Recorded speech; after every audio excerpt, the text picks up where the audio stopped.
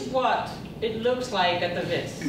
This is what we do every single day. We do anything from synthetic biology to mechanics to software engineering to programming to even art and science, entrepreneurship, starting new companies and so on. But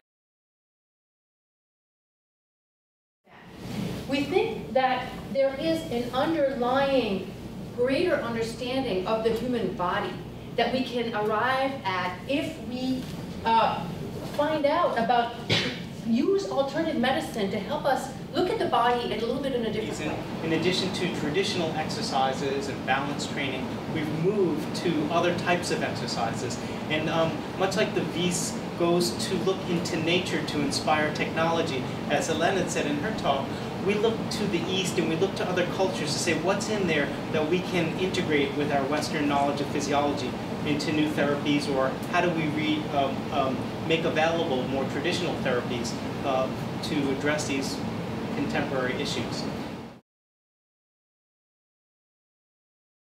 When we look at this lab, um, we have the most cutting edge research tools available to us to measure human movement. We can measure how the body moves through space and interacts with its environment.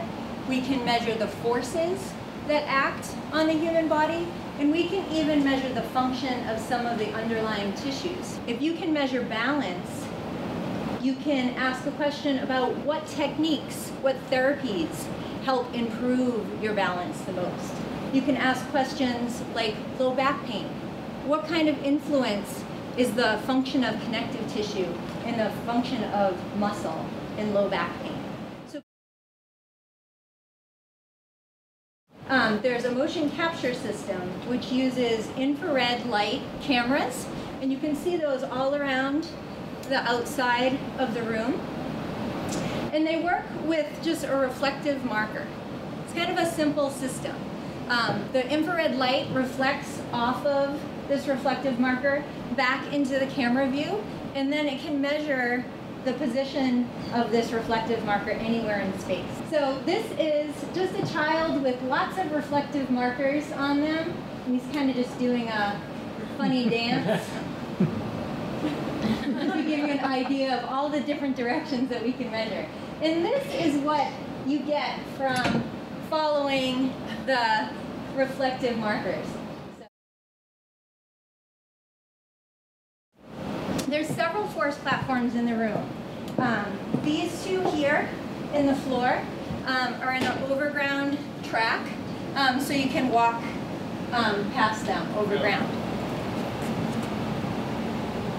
And backward, and right side, and left side.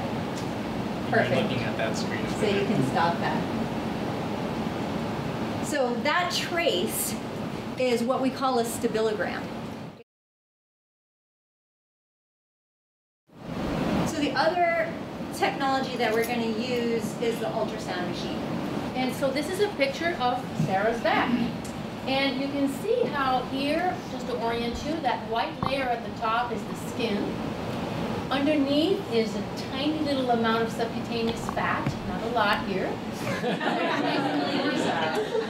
then underneath, we have this white layer, which is quite prominent, and that's the connective tissue. The table is going up and down, and hopefully you can see that the layers of connective tissue are moving past one another. That somebody who has no back pain. Looks very much like what Sarah looked like, right? You see how there's the um, the sliding of these layers, one relative to the other. That's quite easy to see. Now I'm going to show you somebody who has back pain. This person, you see the sliding. Everybody see this? Is not as nice.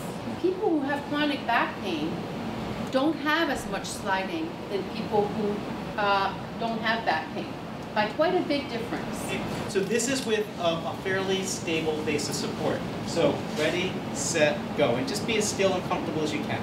Okay. So now we're going to change the base of support and make it more challenging. So this is going to be the Marcel Marceau stance. And you're going to be imagining you're a little bit like you're on a tightrope. Ready, set, go. Okay, does it look different? Yes. Yeah, so hypothesis one, base of support changes things. These plots um, here are from a study with people who've had vestibular uh, damage, the inner ear nerve. Um, some of them had tumors that were cut out and therefore the vestibular nerve was completely removed. Others had head trauma and that's a big part.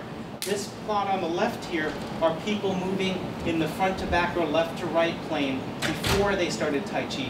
This is 10 weeks later.